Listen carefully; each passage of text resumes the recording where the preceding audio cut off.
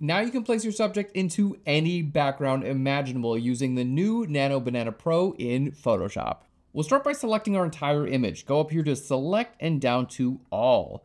Now all you have to do is click on generative fill and then here in your model selector, make sure you choose Gemini 3 with Nano Banana Pro. Now all you have to do is type in a prompt. You talk to this like you would a normal person. So we're gonna say place the subject in a beach scene and match the lighting to the background. Let's go ahead and paste in that prompt and click on generate. And our first image is complete using Nano Banana Pro.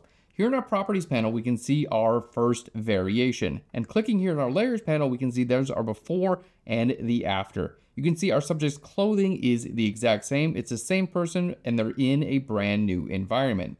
Now, my suggestion is to go back in your properties panel and click on generate a couple more times so you get more variations. So here we have a few more variations. I'm gonna go ahead and choose my favorite. I think our subject looks fantastic, just like the original photograph, except they are now on a beach. Here we can see that creating multiple variations allows us to choose our favorite. For our next image, we're going to place our subject on a rooftop, which might be a little bit dangerous in real life, but with AI, it's totally possible. So the process is the same. Hit Controller Command A to select all. We're going to go to Generative Fill, and then make sure in your model to select Gemini 3 with Nano Banana Pro.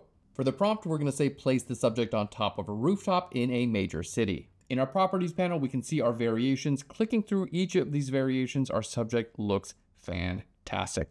If you find any of the images that don't match your original subject or you just don't like them, all you have to do is click here on the delete icon and it will delete from your variations. I'm gonna go ahead and choose my favorite. This image looks amazing. Now it's time for our last example. We're gonna change our subject's clothing and the location at the same time. The process is the same. We're going to hit Controller Command A to select all. Let's go to Generative Fill. Again, make sure you click on your model and go to Gemini 3 with Nano Banana Pro. And now let's go ahead and paste in our prompt. For this prompt, we're going to say place our subject into a stadium and change your clothing to match the colors of that stadium. And this has got to be my favorite prompt. You can see our subject looks incredible in every one of these variations with her clothing matching the new stadium background. Honestly, this one is my favorite. So you can see just how easy it is to place your subject into a new environment. Just select your entire image, choose Nano Banana Pro, type in your prompt, and you're done. And best of yet, this is available right now in the full build of Photoshop 2026. Thanks so much. I'll learn you later.